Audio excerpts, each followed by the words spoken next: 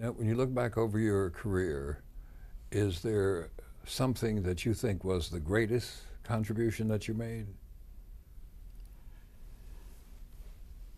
When, when I look back and, and, and take a look back, um, I think my involvement in the civil rights movement was one of my great accomplishments. The fact that someone can grow up like I grew up and, and come under the influence of uh, uh, Jim Lawson and some of my colleagues uh, in school like James Bevel and Bernard Lafayette and Diane Nash and Kelly Miller Smith, but also uh, come the influence of Dr. King.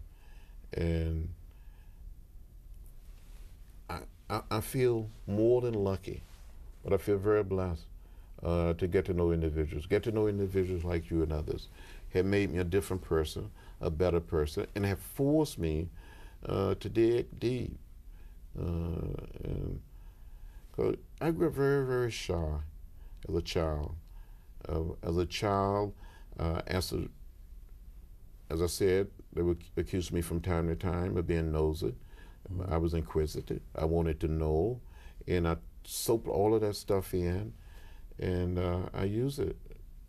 Um, have you, have you ever thought, and I've thought this too, because I agreed that that period in early 1960 was the best time of my life. The friends, the companions, just, I'll never repeat that again.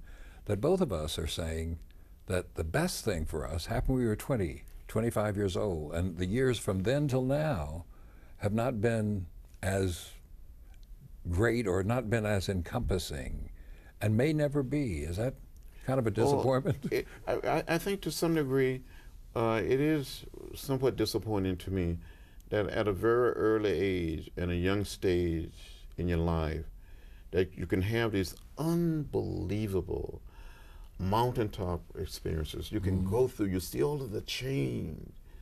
Uh, I was talking with someone the other day, uh, been interviewed, I believe you have been interviewed by this group uh, during the biography of Harry Belafonte. Yes.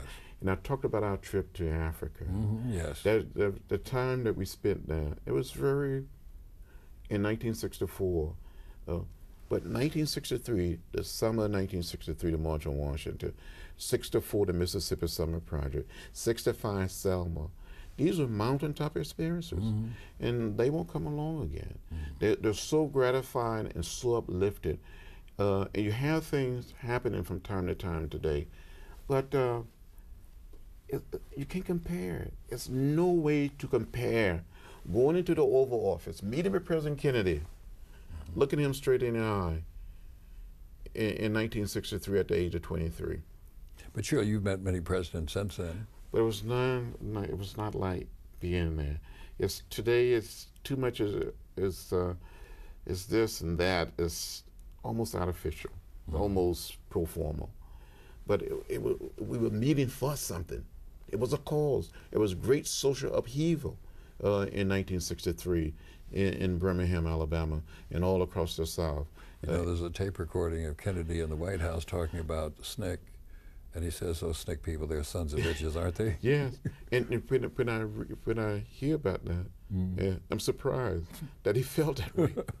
Uh, I think he said it lovingly. Yeah, maybe non-violently. yes, yes.